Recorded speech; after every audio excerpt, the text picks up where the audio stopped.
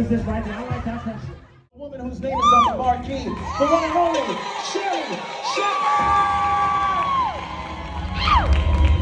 Hey y'all, normally I come out uh, with John when he says hello, but I just did not feel good. And I just, you see everybody has masks on because I don't want to get anybody sick, so I can't take pictures um, with you because I love you too much too, because somebody made me sick.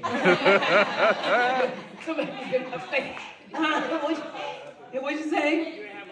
I didn't have on no hat. You know, all that stuff my mother said, because Edie was saying, like your mother would say, wear a long coat because to cover your hips. Because now, as I got off that stage, I was like, my hip is killing me. Wear these short doggone coats.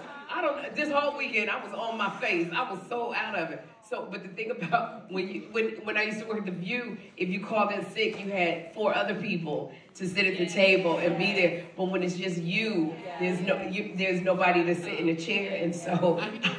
You can do it for me. Thank you, girl. Unfortunately, the, the ratings go down when I'm not sitting in a chair. As much as I would love you sit, I don't know if you would know. I don't know if you would know to drop out your chair and slide off the floor. You know, something about the way I do things make these ratings go. Yeah. So if I call in sick, it's just we have to do a rerun um, of the show, and so uh, I just, I just, I said a prayer as I was behind the door, hacking and coughing. I said, Father God, I need to be able to do this without coughing. Let me tell you, he showed up. He showed up and showed out. Made me slide out that chair. I said, what in the hell is you doing? When I do physical, I love doing physical comedy. I love it. I love it. I love it. But I don't know what is going to happen. I always say I need fresh grace, fresh mercy, and fresh jokes. That's what I say. And I'm so nervous, but once the door opens up, I smile and I don't think about nothing else. And then I'm sitting in a chair and I feel like a coughing fit's gonna come, but then it doesn't happen. And then all of a sudden I fell out the chair. I was like, I, I, I said fresh jokes, Holy Spirit, but I don't know what you're doing now. But so I thank you for coming because it's cold outside. You could have been doing anything else, but you chose to be here. And I'm so, so very thankful. And I know you are 84 years old. I first of all, I cannot believe you are 84 years old. I, lo- I can see you happy. I can see you happy.